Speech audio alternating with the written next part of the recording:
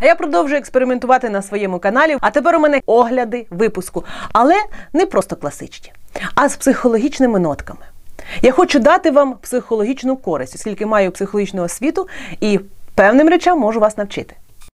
І тема випуску у нас перший поцілунок.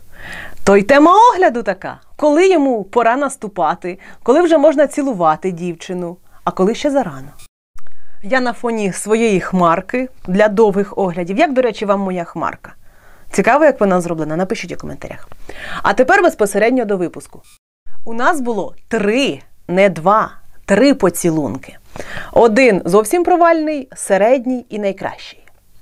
Ким же були ці три поцілунки? Перший з Олександром, поцілунок у плече, де Злата сахнулася, є таке слово.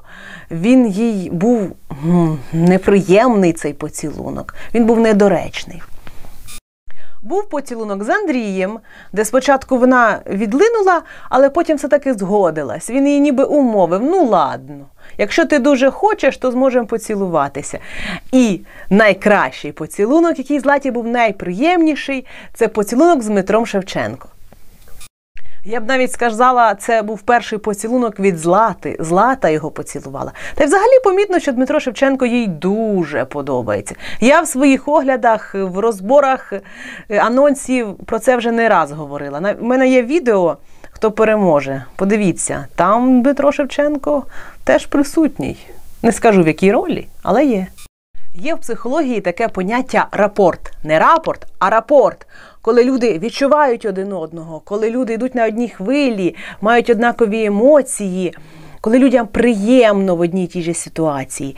І чому воно схоже до слова рапорт? Тому що це ніби як повідомлення один одному на відстані, ем, це ніби як синхронність у поведінці. Це можна, наприклад, описати, коли закохана пара сидять один напроти одного, дивляться в очі і змінюють пози синхронно.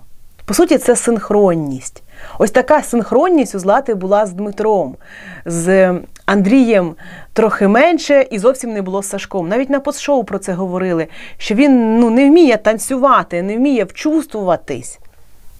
Це типова проблема чоловіків, коли вони хочуть більше, ніж жінка, коли вони готові в будь-який момент, а жінці для цього треба час. Так от, коли ж все-таки жінку треба цілувати? Якраз тоді, коли є цей рапорт. Але, на жаль, багатьом чоловікам іноді просто здається, що він є, як здалося Сашку. Цьому треба вчитися. Хорошим варіантом буде дочекатися від жінки ініціативи, але це працює з більш старшими жінками. Молоді іноді соромляться. Підписуйтесь.